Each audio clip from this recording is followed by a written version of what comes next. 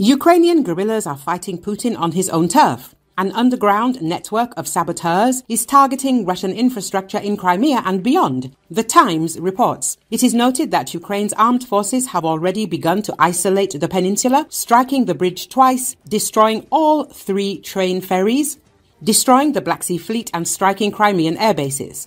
Putin's railway, which he announced in March, could thwart Kiev's plans to make the peninsula uninhabitable for Russians. New sections of track are being built to connect existing railways from Melitopol and Berdyansk. When completed, the railway will stretch more than 500 kilometers from the city of Shakhty in Russia's Rostov region to Dzhankoy in Crimea with hundreds of kilometers of connecting tracks.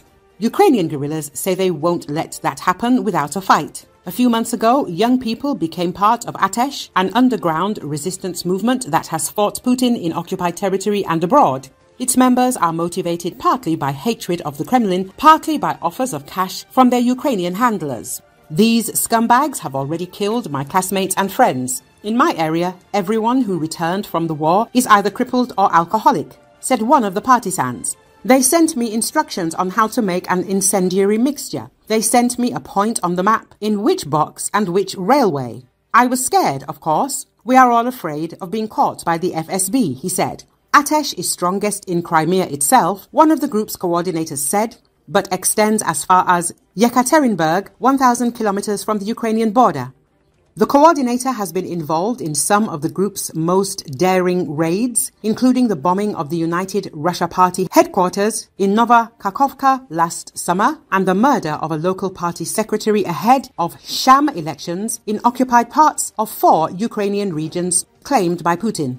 The group burned a series of relay boxes, usually the softest targets, but last year also blew up sections of highway in Rostov and Kherson. In Yekaterinburg, the guerrillas destroyed a railway used to transport North Korean artillery ammunition.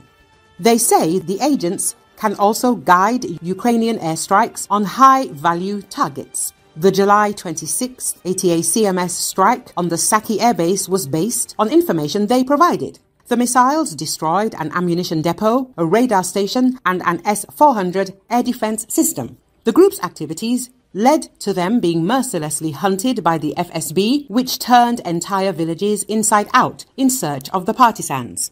Since the last attack, Russian police of the occupied administration and the FSB have been checking all the villages around Skadovsk. They have entered almost every house, interrogated villagers, and checked their phones for cooperation with the partisans. Some of the villagers have disappeared altogether. The movement's coordinator said